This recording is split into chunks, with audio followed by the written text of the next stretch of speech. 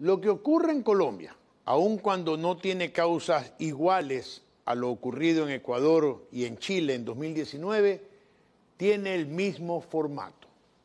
¿Cómo funciona?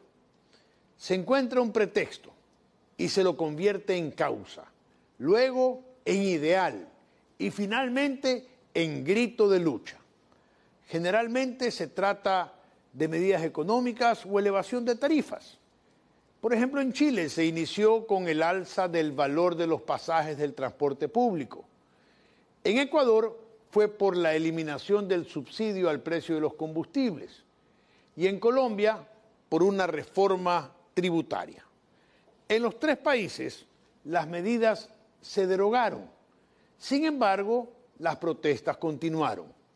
Las provocaciones se fueron incrementando y empezaron los saqueos.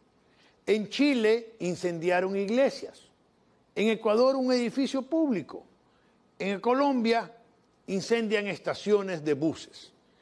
El nivel de irracionalidad llega hasta un punto en que la fuerza pública actúa con rudeza. Y alguno de sus miembros termina matando a uno de los manifestantes, que en su mayoría son jóvenes entre 18 y 30 años. En ese momento, obviamente, se configura la violación del derecho contra la vida del fallecido.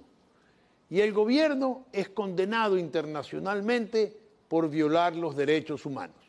Es que efectivamente los viola, pero es casi imposible no violarlos por la violencia con que actúan los manifestantes, asusados por activistas profesionales que precisamente buscan que los gobiernos caigan en la provocación y violen los derechos humanos de las personas que protestan.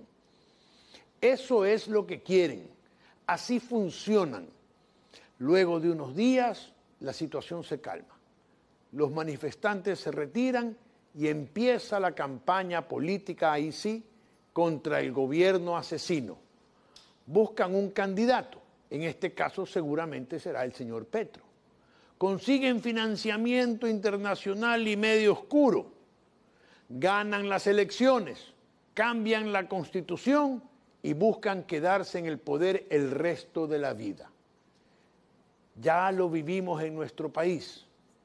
¿Lo recuerdan? Se llama socialismo del siglo XXI y tiene un protagonista escondido, Nicolás Maduro. Amigos colombianos, tengan mucho cuidado. Están a punto de caer en las redes de un monstruo.